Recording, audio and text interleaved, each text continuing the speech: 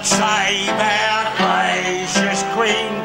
Look, get up, our noble Queen. God save her. Get up!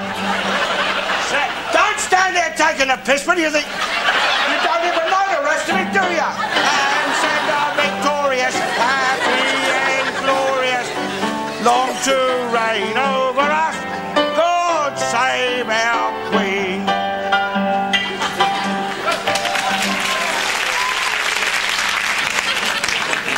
Bloody well ashamed of yourselves, you. Sit there during her song. Saying right, she emigrated, wouldn't it?